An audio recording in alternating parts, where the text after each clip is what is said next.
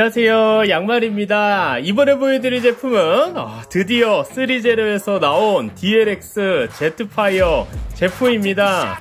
이 제품 같은 경우에는 이제 옵티머스 프라임이랑 이제 합체가 되는 일명 이제 재파업이 되는 그런 제트파이어 할아버지. 영화에서도 막 자기 부품 건네주고 하던 그런 이제 할아버지인데 아 이 제품 정말 기대 많이 했는데 이렇게 딱 도착을 했습니다 맨날 플라스틱 blister 박스만 보다가 이렇게 오랜만에 생선 박스 스티로폼을 보니까 아 조금 다른 느낌이 드네요. 3제로에서 어, 생선 박스를.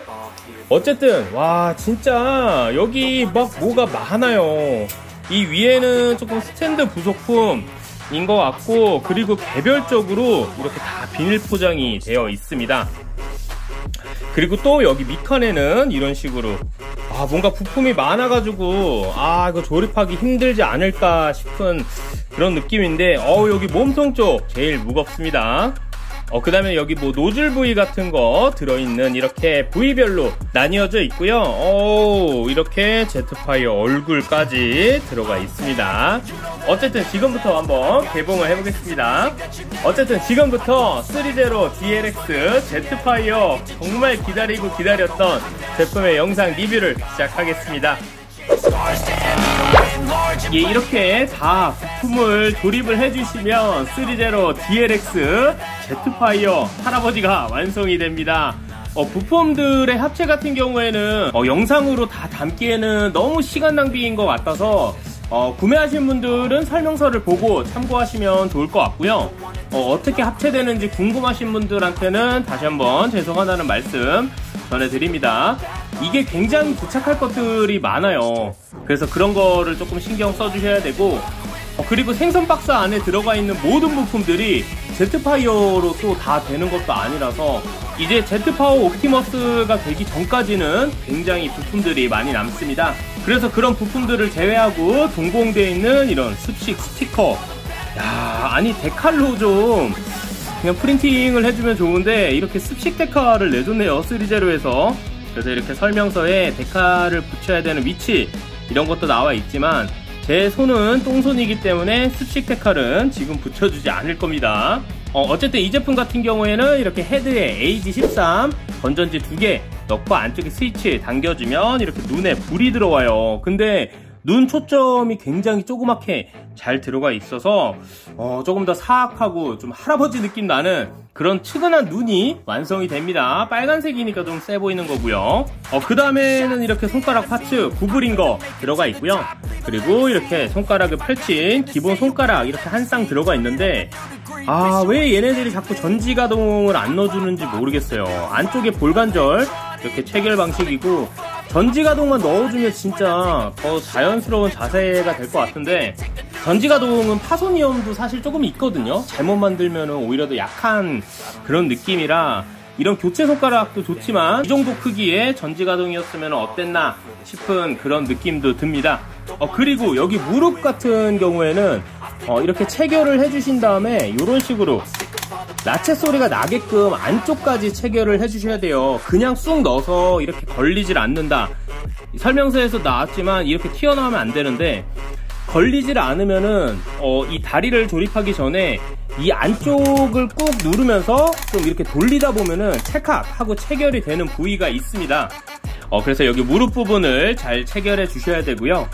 아, 그 다음에 이 제품도 후두둑거리는 부품들이 있어요. 어, 여기 가슴 쪽 부품 여기도 좀 잘 빠지고 이 부품 아 저는 여기가 진짜 제일 잘 빠져요 안쪽에 이제 자석을 조금 심어야 될 것 같은 그냥 조인트 얇은 거 하나로 저렇게 고정이 되는 건데 저기 부위는 이따가 아마 가동성 설명드릴 때 분명히 움직이다가 빠질 것 같습니다. 어, 쨌든이 제품 한번 가까이서 보실게요. 어, 이렇게 weathering들이 들어가 있어요. 검은색 부분에 이렇게 희끗희끗한 weathering들 그런 거 들어가 있는데 조금 더 과해도 나쁘지 않을 것 같다. 어, 싶은 그리고 얼굴. 아, 입가동이 따로 안 됩니다. 아 이건 조금 아쉽네요. 입가동까지 됐으면은 더 좋았을 텐데 이런 기계적인 디테일들이 진짜 아우 멋있게 잘 들어가 있어요. wow! 이런 팔뚝 보세요. 이런 게 이제 합체가 된다는 이런 녹슨. 그런 도색 디테일. 제가 3제로 도색 굉장히 좋아합니다 이런 복부 쪽에 기계적인 디테일까지 진짜 신경을 안 쓴 곳이 없어요 이런 다리 쪽 디테일도 정말 좋고 와 야, 이런 종아리 부분. 와, 진짜. 아, 돈 많으신 분들은 이거 합체용 따로, 그리고 단품용 따로 구매하셨을 텐데, 진짜 굉장히 부럽습니다. 와, 이거를 이렇게 단품으로 옵티머스랑 같이 둔다고 생각하면 진짜 멋있을 것 같아요. 어우, 이렇게 다리 쪽도. 진짜 디테일만큼은 3제로가 확실히 좋죠. 어, 이렇게 어깨 쪽을, 아, 아, 이거 봐요. 그냥 살짝만 건드려도 이렇게 빠지는데, 이 자석이 나중에 옵티머스의 복부 쪽에 결합되는 파츠인데 어, 보시면은 여기 이렇게 조그만 조인트 하나로 체결이 됩니다 여기 위에 자석 같은 거 박아줬으면 고정성도 더 좋지 않았을까? 아니면 제 제품만 자석이 누락된 건가 싶은? 야, 이 얇은 조인트 하나로 고정하려니까 고정이 안 되죠. 음, 그리고 이렇게 옆모습도 야, 이 날개 안쪽 그리고 뭐 어깨 이런 데는 진짜 미쳤습니다. 옆구리까지 오 좋아요. 이런 바퀴 디테일까지. 어차피 나중에 합체될 때는 저런 건 분리되는 부품이라. 어, 그리고 뒷모습. 뒷모습은 이제 옵티머스 이제 합체될 때 어, 쓰는 부품들이 이렇게 등 쪽에 수납이 되어 있는데 여기도 굉장히 후두둑이에요. 야, 여기 이렇게 조인트가 이렇게 살짝 체결이 되는 건데 굉장히 딱 들어맞지 않고 아, 좀 많이 헐거운 듯한 그런 느낌이 듭니다. 그리고 엉덩이 쪽에 이렇게 옵티머스 부품도 들어가 있고요. 다리 뒤쪽도 디테일 살벌하지 않습니까? 진짜 와 죽입니다 죽여. 어 그리고 이 제품의 가동성 같은 경우에는 어, 여기 얼굴 쪽 여기 위에서도 오 이렇게 움직일 수 있어요 목 쪽을 어, 목이 이렇게 살짝 살짝 안쪽에 볼관절로 되어 있는지 위아래 그리고 양 옆으로 그리고 뭐 이런 식으로 대각선 어, 이렇게 안쪽 목에서 움직일 수 있고요. 여기 바깥쪽에도 이렇게 볼관절로 되어 있기 때문에 어, 좀 자유롭게 그래서 머리를 이렇게까지 숙여줄 수 있어요. 그리고 여기 안쪽에도 이런 기계적인 표현들을 어, 조금 해줬기 때문에 확실히 3제로가 이런 기계적인 제품은 참 잘 만들죠. 그죠? 어, 그래서 목은 이렇게 움직일 수 있고 어깨 같은 경우에는 부품 걸리는 거 조심해 주시고 이렇게 앞뒤 에 움직여 줄 수 있습니다 음, 그리고 여기 금색 있는 쪽에서 어, 이렇게 회전 관절이 가능한데 이런데 걸리는 부위들이 있기 때문에 이런 거 조금 조심해 주셔야 될 것 같고요 그리고 여기 이두박근 있는 쪽에서 360도 돌아갈 수 있는 그런 관절은 들어가 있습니다. 그리고 팔꿈치 같은 경우에는 이렇게 쭉 펴고 이런 식으로 접어줄 수 있고요. 어, 그 다음에 손목은 볼관절이기 때문에 굉장히 자유롭게 움직여줄 수 있어요. 어, 그래서 팔 같은 경우에도 여기 어깨에서 살짝 위로 올려줄 수 있고요. 그리고 여기 또 바깥쪽 어깨 쪽에서 이렇게 올려줄 수 있기 때문에 팔은 요 정도 어, 옵티머스를 쓰다듬는 것도 잘하면 될 것 같아요. 이런 식으로. 아따. 어, 그리고 허리 같은 경우에는 여기 위쪽에서 이런 식으로 살짝살짝 움직여 줄 수 있는데 옆에 부품 걸리는 거 조심해 주셔야 되고요. 그리고 이런 식으로도 살짝살짝 돌릴 수 있습니다. 그리고 밑에 허리에서도 어, 이런 식으로 돌아가는데 부품들이 워낙 많기 때문에 아, 진짜 파손이나 긁히는 거 조심해 주셔야 될 것 같아요. 어, 그 다음에 이렇게 허리를 안쪽으로 어, 굽혀줄 수도 있습니다. 진짜 얘네들은 척추에 뭔가 있다니까. 척추 성애자 3제로답게 이렇게 척추를 굽혀줄 수 있고, 아, 막 뭐가 막 빠지죠. 이게 잘못 만지면은 굉장히 많이 빠져요. 그래서 뒤쪽, 오, 이렇게 척추 표현도 해놨고요. 어, 그리고 여기 고관절 같은 경우에는 이런 식으로 오, 회전이 가능하게끔 설계가 되어 있습니다. 어, 뒤쪽에 걸리는 부분들이 있기 때문에 이 정도. 그냥 사실 제트파이어는 이 할아버지 시그니처 포즈만 잡아주면은 다 된다고 생각해요. 그리고 고관절 이렇게 옆으로 벌려줄 수도 있고요. 이렇게 이런 식으로 다리를 쫙 벌려줄 수도 있고요. 어, 그리고 여기 허벅지 있는 데서 이런 식으로 살짝살짝 돌아가기는 해요. 그리고 무릎 있는 데서 ratchet 관절이 생기면서 이런 식으로 어, 움직여 줄 수 있고 어, 여기 무릎 일단 어, 스프링 ratchet은 아닌 것 같고 돌기 ratchet인 것 같고요. 어, 이런 식으로 딱 고정 딱 해줄 수 있게 어, 그리고 여기 정강 있는 쪽에서 살짝 나체 소리 비슷한 거 이렇게 움직여 줄 수 있습니다 어, 그리고 발목 같은 경우에는 이렇게 좌우 가능하고 어, 그 다음에 이렇게 앞뒤로 움직여 줄 수 있고요 그리고 발가락 같은 경우에는 이런 식으로 움직여 줄 수 있고 여기는 그냥 조인트 박혀 있는 거니까 힘으로 막 움직이지 마시고요. 음, 그리고 발가락 있는 쪽 여기 앞쪽 회전관절을 이용해서 이 발가락 쪽만 이런 식으로 움직여 줄 수도 있습니다. 어, 사실 진짜 합체용으로만 대충 만들어도 됐을 법 했던 그런 제품이긴 한데 3제로답게 가동성도 굉장히 많이 확보는 해줬어요. 이런 조형에 비해서 근데 아무래도 조형 자체가 이런저런 부품들이 많기 때문에 조금 그런 간섭되는 부분들이 많아서 핸들링은 조금 힘든 것 같습니다. 그래서 핸들링을 좋아하시는 분들은 좀 많이 아쉬워 하실 수도 있을 것 같고요. 어, 그래도 가동성은 이것저것 많이 넣어줬기 때문에 어, 단품으로서의 가치도 충분히 하는 것 같아요. 일단 이 조형 보세요. 아 진짜 너무 멋있지 않습니까? 진짜 돈만 많았어도 단품으로도 또 사고 싶었는데 아 그게 조금 제 맘 같지 않네요. 어, 이런 제일 많이 빠지는 부품들 같은 경우에는 여기 구멍에다가 좀 자석을 넣어줘야 될 것 같아요. 자석이 동봉도 아니고 좀 같이 넣어줬으면 좋았을 텐데.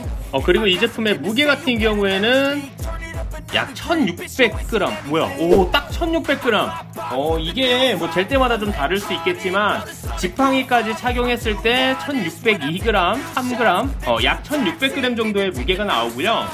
어, 크기 같은 경우에는 날개 끝까지 약 35cm 정도 크기를 가지고 있고 어, 이게 어떻게 두냐에 따라 다르지만 폭은 약 30cm 좀 안 되게 다리를 조금 벌리고 있으면 아무래도 너비는 조금 더 나올 것 같아요 어, 그리고 이거는 블랙맘바 제트파이어와의 비교입니다. 어, 이 블랙맘바 제트파이어도 굉장히 변신이 가능한 점에 있어서 잘 나왔다고 생각했는데 확실히 디테일 끝판왕이랑은 느낌이 완전 다르네요. 어, 그 다음에는 대충 이제 합체를 위해 조금 부품들을 떼어낸 DLX 옵티머스 프라임과의 비교입니다. 야, 얘네 둘이 합쳐진다는 게 진짜 너무너무 아, 기발한 것 같고요. 설계도 진짜 잘해준 것 같아요. 물론 후두둑거리는 부품들이나 이런 것들 때문에 좀 스트레스 받거든요. 합체할 것도 좀 많고 어, 몇번 해보다 보면 적응은 되는데 아무래도 손 위에서 가지고 노는 거는 조금 힘들지 않나 그런 느낌이 듭니다. 어쨌든 지금부터 얘네 둘이 합체를 시켜볼게요. Fulfill your destiny.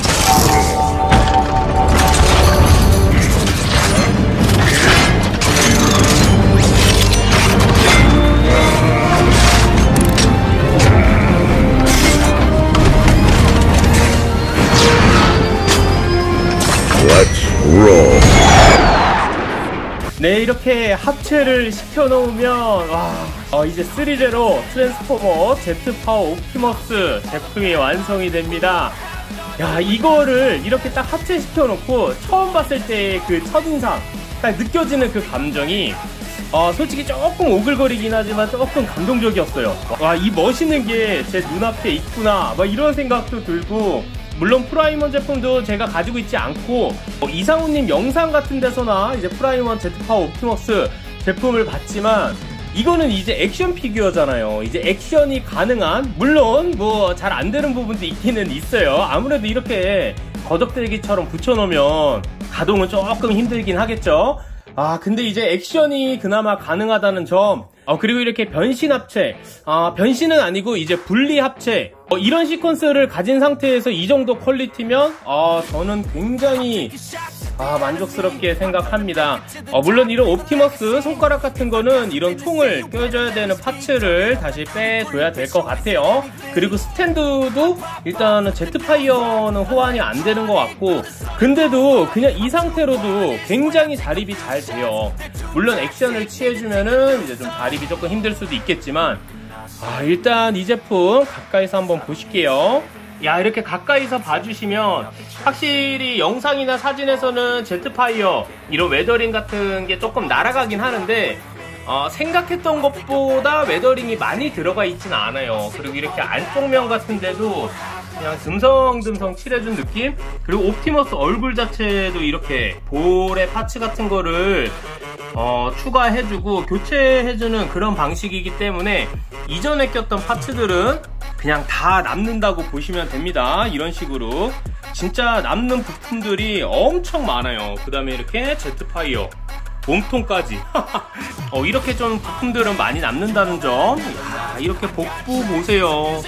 이런 복부 파츠 같은 경우에도 굉장히 신박하게 어, 합체가 되는 그런 시퀀스를 가지고 있고요.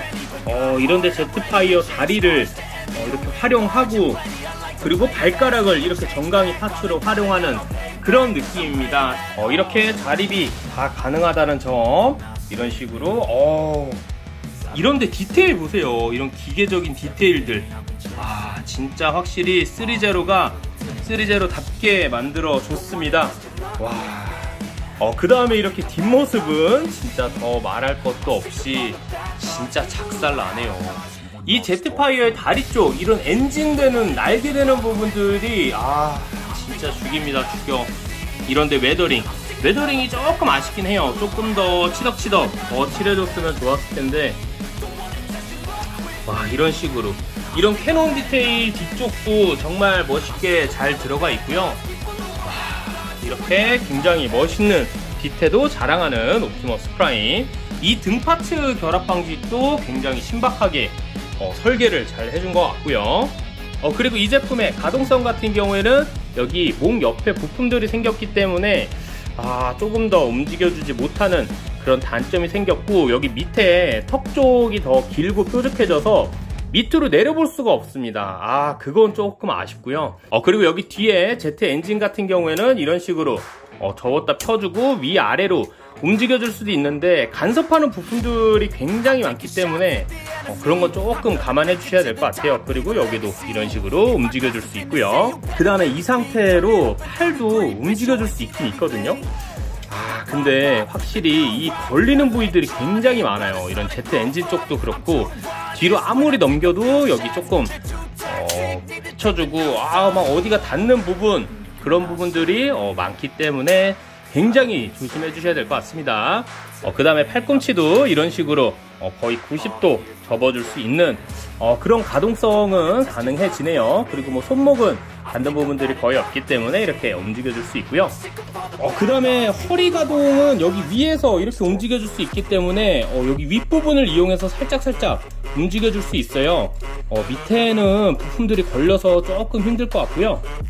어, 그 다음에 다리 같은 경우에는 이런 식으로 살짝 움직여줄 수 있는데 여기 부품들 또 걸리는 거 굉장히 많기 때문에 파손 조심해 주시는 게 좋을 것 같습니다. 어, 그리고 허리도 이렇게 좌우로 움직여 줄 수 있고 옵티버스 안쪽에 있는 어깨 어, 이렇게 가지고 오면 팔을 조금 더 들어줄 수 있는 그런 가동성도 확보가 되고요. 그리고 이렇게 살짝살짝 벌려줄 수도 있고요. 어, 이렇게 고관절을 밑으로 연장할 수 있는 그런 기믹이 있기 때문에 이런 식으로 올려주고 무릎을 어, 이런 식으로. 와. 이렇게 공중으로 좀 나는 자세를 취해주면 굉장히 멋있을 것 같아요. 이제 스탠드에 띄워주고. 이렇게 아우 씨. 이렇게 덕지덕지 붙은 그런 부품들에 비하면은 그래도 어느 정도의 가동성은 확보해주지 않았나. 근데 굉장히 핸들링은 불편합니다. 그리고 움직이다가 아 제가 봤을 땐 진짜 100% 어디 하나 부가질 것 같아요 부품이. 어, 그리고 발목 같은 경우에는 제트파이어 발을 그대로 가져왔기 때문에 이렇게 좌우 관절 뻑뻑하게 들어가 있고요. 어, 회전도 살짝씩은 가능하게 해줬어요. 그리고 밑으로 이렇게 살짝 어, 위아래로 발목 힌지를 이용해서 좀 내려주면 앞뒤로도 이런 식으로 움직여 줄 수 있습니다. 어, 그리고 뭐 발가락도 이렇게 움직일 수 있고요 어, 그 다음에 아무래도 완벽한 제품은 없겠죠. 특히나 이런 식으로 합체가 되는 제품 중에서 아, 완벽할 수는 없는데 조금 후두둑 떨어지는 부품들이 있어요. 일단 제일 심한 게 여기. 여기는 그냥 살짝만 움직여도 빠져요. 근데 안쪽에 이렇게 자석이 있거든요. 여기에 이제 자석이 들어가 있는 거는 저는 처음 알았습니다. 그래서 이렇게 찰싹 하고 붙여줄 수 있는데 이게 고정성이 그렇게 좋지 않아요. 자석이 조금 가성이 조금 약하기 때문에 어, 여기도 조금 아쉽고 그 다음에 이 바퀴 쪽아 이런 외관 쪽에 붙는 이 부분인데 바퀴에다가 그냥 살짝 조인트를 껴주는 부위예요. 어, 이런 식으로. 그냥 이 가운데 조인트가 껴지는 게 아니라 이 세 개로 바퀴에 있는 홈에 껴주는 거기 때문에 조금 움직이려고 손으로 만지작 만지작 거리다 보면 그냥 푹 하고 빠져버리는 그런 부위 중에 하나고요. 그 다음에 여기 허벅다리 뒤쪽에 끼는 이 부품 여기. 아 여기도 굉장히 잘 떨어집니다. 제가 잘못 낀 건지. 아 여기는 안 보이는 데인데 굳이? 음, 이런 식으로. 아 그래서 좀 후두둑하는 부위들이 있기 때문에. 아 어, 그리고 이쪽에 이런 빨간색 부품들도 조금은 잘 빠진다는 거 염두해 주시면 좋을 것 같고요. 어, 이 제품의 무게 같은 경우에는 이렇게 합체를 시켜놨을 때 1734g 정도의 무게를 가지고 있습니다. 어, 합체된 것 치고는 무게가 그렇게 많이 나가지는 않는 것 같아요. 어, 그리고 크기는 머리까지 약 34cm 정도의 크기를 가지고 있고요. 저기 뒤에 엔진 부위까지는 약 44cm 정도의 크기를 가지고 있습니다. 어, 그리고 이거는 3제로 DLX 범블비 무비 옵티머스 프라임와의 크기 비교고요. 그리고 이거는 3제로 DLX 범블비 무비 범블비와의 크기 비교입니다. 확실히 3제로가 이런 로봇 쪽 계열들은 굉장히 잘 만드는 것 같아요. 어, 제가 3제로 인간형 쪽을 조금 만져보고 싶은데 인간형 쪽은 많이들 추천을 안 하시더라고요. 야, 어쨌든 정말 정말 매우 엄청 기다렸던 이렇게 3제로 DLX 제트파이어 제품을 받아보게 되었고 이렇게 제트파워 옵티머스로 합체가 가능하게끔 되었습니다. 진짜 기대했던 것만큼 정말 멋있게 잘 나와준 제품인 것 같고요. 확실히 3제로가 3제로 했다라는 말이 맞을 정도로 이거 합쳐서 거의 한 60만원? 액션이 가능하기는 한다는 점에서 60만 원의 값어치는 충분히 하는 그런 퀄리티로 나오지 않았나 싶은 그런 정말 멋진 조형을 가지고 있어요. 물론 디테일면 쪽으로 더 깊이 들어가면 프라임원이나 이런 거를 따라갈 수 없겠지만 아 저는 진짜 이 정도로 합체를 시켜서 놔둘 수 있다는 거에 정말 감동을 많이 먹었고요. 그래서 진짜 개인적인 생각으로는 3.0 정도의 기술력이면 그냥 제트파이어 따로 옵티머스 단품 따로 합체 안 되게 그리고 이렇게 제트파워 옵티머스 제품을 만들어서 출시해도 아, 더 좋았을 텐데 라는 그런 조금 아쉬운 감도 있어요. 가동이나 뭐 부품의 고정성을 너무 많이 기대를 하고 구매를 하시면 안 될 것 같고요. 그냥 60만원 정도 선에서 살 수 있는 그런 메리트가 있는 제품이면 틀림없고 제트파이어가 이렇게 남아버려요. 이렇게 합체하면. 아, 다리라도 있으면 좀 세워줄 텐데 그런 것도 아니라서 그런 걸 조금 고민해 보시고 구매하시면 될 것 같습니다. 이제 남는 부품들도 워낙 많고 그래서 이제 그런 거 싫어하시는 분들은 그냥 프라임원 더 돈 모아서 가시는 게 더 나을 것 같고 아 그냥 한 4, 50cm 정도에서 진짜 쩌는 퀄리티의 액션 피규어. 그리고 이 제트파워 옵티머스 프라임만의 그 감성이 있잖아요. 로망이 있고. 그 작중에서 그 멋있었던 그 장면 그거를 눈앞에서 보고 싶으신 분들한테는 굉장히 좋은 제품이 아닐까 싶습니다. 어쨌든 여기까지가 3제로 DLX 제트파이어 제트파워 옵티머스 제품의 영상 리뷰였고요. 어, 시청해주셔서 감사합니다